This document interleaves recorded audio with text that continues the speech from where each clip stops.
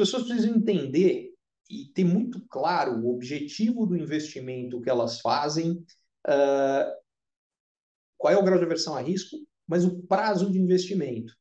Porque se o cara está comprando, de fato, um título de renda fixa de cinco anos, com o objetivo de mantê-lo por cinco anos, ou de 10, ou de 30 que seja, ou o prazo tanto faz, mas que ele tem o objetivo de manter, essas oscilações de curto prazo para ele, é, que agora estão sendo marcadas, é, deveriam ser razão fazer nada por causa disso.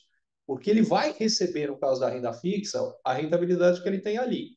Agora, esse cara que está comprando um investimento desse, porque acha que, sei lá, e que vai vender em algum momento, esse cara aí precisa entender o que é essa oscilação de mercado, é, porque ele pode ser forçado a vender algo num momento que não está na hora certa. E, a bem na verdade, ele não deveria sequer ter comprado isso, mas muito provavelmente ele nem entendia disso no momento que ele comprou. Eu, eu costumo dizer que ativos financeiros, eles são o contrário de qualquer produto que a gente consome. Qualquer produto que a gente consome, a gente vai às compras quando está em liquidação. Ativo financeiro, a gente vende na liquidação.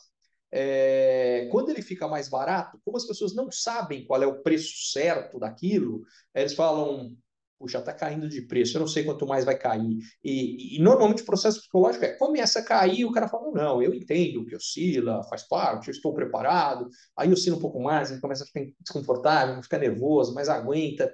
Aí cai mais, pô, caiu 20% abaixo. Eu nunca imaginei que podia cair 20%. Meu, aí cai 40%. O cara fala, não é possível.